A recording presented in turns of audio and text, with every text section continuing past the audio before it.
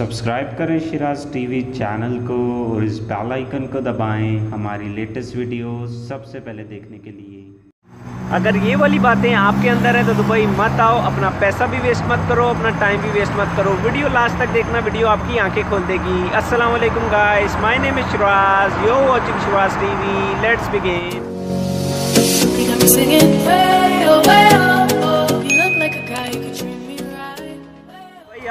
तो दुबई आने से पहले आप एक चीज़ सोच लो कि दुबई में ना तो कोई फैमिली है, आप फैमिली पाकिस्तान, इंडिया में, नेपाल से, जिधर से भी आ रहे हो, आप अपनी फैमिली के साथ रहते हो, ठीक है? फैमिली में हर चीज़ आपको नवाबों की तरह, हर चीज़ खाना मिल जाता है, कपड़े प्रेस हुए मिल जाते हैं, हर चीज़ मिल जाती है, ठीक है? यहाँ पे दुबई में कुछ भी नहीं है, सब आपको खुद करना पड़ता है, ठीक है? ना कोई फैमिली है, ना कोई जानने वाला है, ना कोई खिलाने वाला है, ना कोई पिलाने वाला है।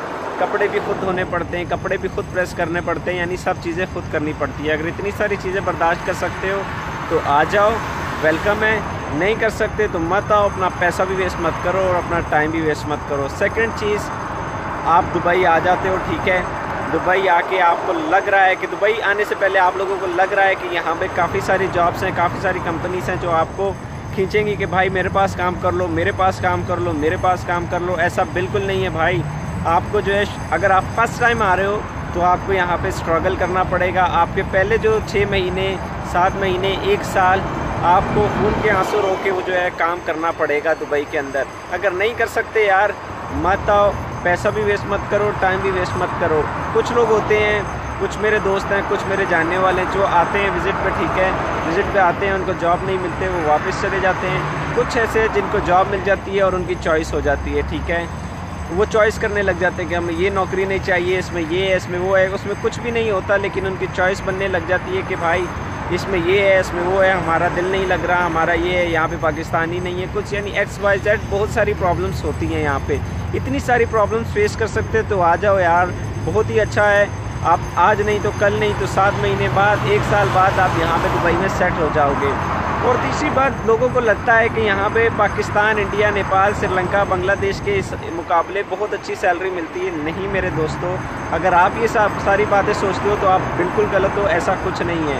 यहाँ पे अगर आपको इंडिया में पाँच हज़ार रुपये मिल रही होगी तो यहाँ पे आपको दस हज़ार मिल जाएगी, यानी डबल सैलरी आपकी हो सकती है यहाँ पे। फ़र्स्ट टाइम आप आ रहे हो, आपने पाकिस्तान, इंडिया में कभी कुछ काम नहीं किया और आप सोच के आ रहे हो कि आपको लाखों करोड़ों की सैलरी मिलेगी तो ऐसा बिल्कुल नहीं है। दुबई में मैंने बहुत सारे लोग देखे हैं जो रोते हैं, जो मरते हैं, जो काम नहीं कर सकते, ठीक है? वो आते हैं, अपने पैसे वेस्ट करके चले जाते हैं। आपको पता है दुबई में जो है, जो छोटी कंपनीज़ होती हैं, यानी छोटी मोटी छोटी कंपनीज़ रेस्टोरेंट वगैरह, वहाँ पे 10 से 12 घंटे मेरे भाई जॉब टाइमिंग होती है। 10 से 12 घंटे काम कर सकते हो तो आ जाओ।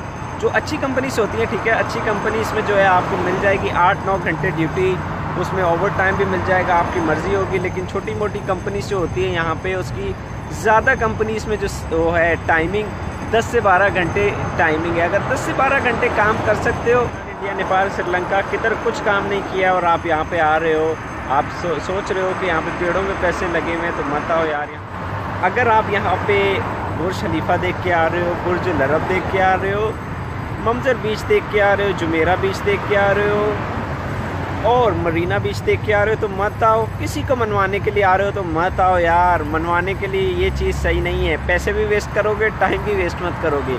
मेरी सलाह मानो तो मत आओ। अगर ये सब चीज़ें आप करने के लिए यहाँ पे आ रहे हो। मेहनती हो, काम करने वाले बंदे हो, काम करने सिर्फ़ आ रहे हो, दुबई देखने नहीं आ रहे। भाई, जो देखने में लगता है ना, जो दिखता है वो होता नहीं है। जो होता है वो दिखता नहीं है।